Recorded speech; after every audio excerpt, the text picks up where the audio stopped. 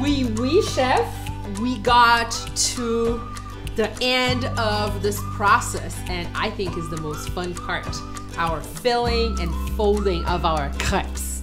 And the first one, I'm gonna do the most classic crepe sucrée. I am just doing a little sprinkle of sugar, a little bit. You don't need a lot.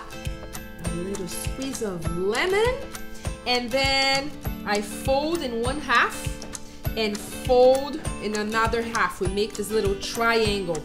And from here, I'm going to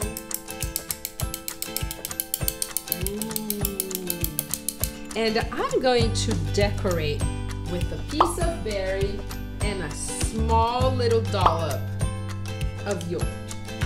Chef Marcello, would you like to do that? I to go chocolate sauce and banana with my own little garnish. Beautiful. So for those, chef, I think is you can still do the, the triangle shape or you can just do the burrito shape. The burrito shape I was gonna say is that you can fill the middle and then kind of fold side and side, okay?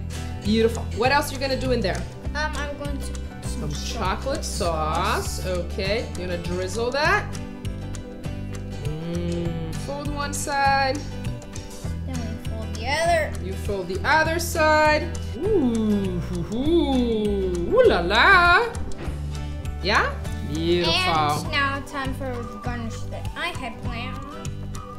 Mmm. A little art, the way you, you lay your strawberries.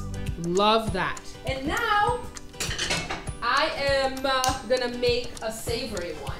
So for that one, we are going to roll this crepe just like we would um, fold like a burrito, okay? So add my nice, soft, warm scrambled eggs. And then I'm gonna ask Chef Marcello if they would be so kind to add a little bit of sour cream and a little bit of that chopped scallion on top. And that is going to be our what? Garnish. Our garnish. Thank you, chef. There you go.